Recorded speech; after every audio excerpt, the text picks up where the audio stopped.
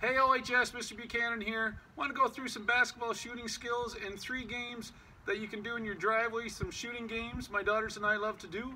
Uh, one would be kind of a numbered spot game where we take different pieces of chalk and we do different circles around the driveway. Number two would be like an NBA shooting game where it can be like an NBA two ball or one ball depending if it's just you or if you have some family members joining you.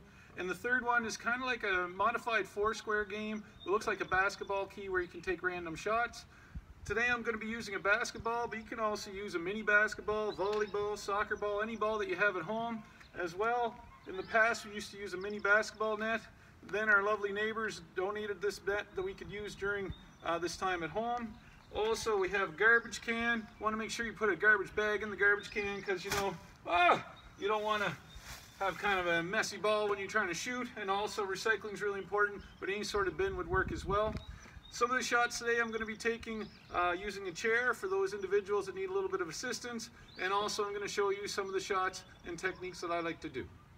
Here we go.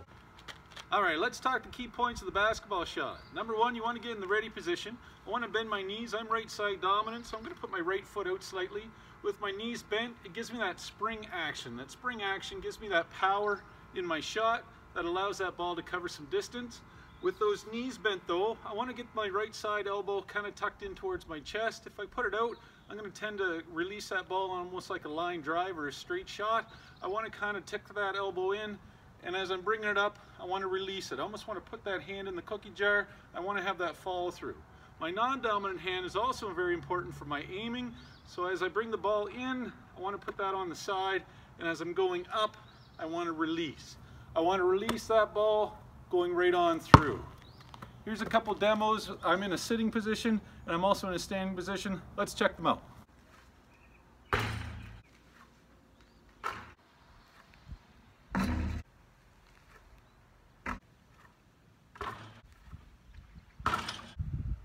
So this is a fun game that my daughters and I play all the time. We call it numbered spots. We've taken some chalk, we've put uh, numbers 1 through 16 all over the driveway. Right now I'm standing in, in, number 3 and I get ready to take my shot. If I get it in, I look for number 4. Oh, there it is. And I keep on going. If I miss my shot, then I just go back to the spot. If I'm playing with more people, I take my turn, then I alternate. Someone else will take their shot wherever they are on the numbers. And then if I get up to 16, then we always have a bonus shot to see who's going to win. That bonus shot you can pick any random spot from number 1 to 16. Really fun. We play it all the time, morning, noon, and night.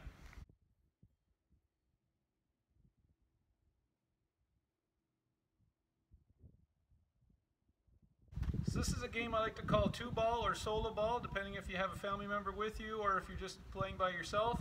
I've kind of taken some chalk and made a makeshift basketball key.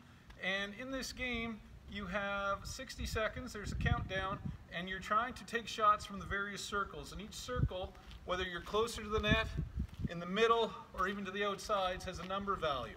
So as I start, I'm going to shoot from whatever circle, and as I'm going and I sink the baskets, I'm going to start adding up my score. If I'm in close, it's worth two, kind of towards the middle in front of the net's three. Let's call it the makeshift foul lines five. I have a seven off to the side, and of course, going to the long shots, we have eight points. So kind of a solo ball if you're by yourself, or two ball if you're with a family member. Lots of fun. If you're looking for the music, this used to be an old NBA two ball type of game. If you Google it and go on sound, soundcloud.com, you can get the uh, music for it, and sounds like this. Get ready to play Gatorade NBA two ball. Five, four,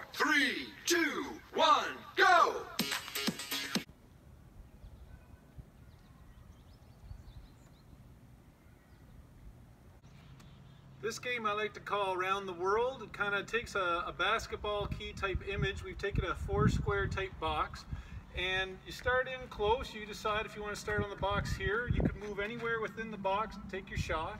If you score, then you can move back to the second box. When you score here, moving over to the third, and finally, on your final shot, you're now going to exit the box, but then you have five outside of the key type shots. But you'd have to shoot right from the circle one spot, two, going all the way around the key. This kind of looks like a foul shot, out towards the curb, towards the sidewalk. and so on. So you can start in any direction, but then we go from inside the box to going on the outside. Lots of fun, and uh, you can count up points, take your time, you can alternate between partners. That's up to you.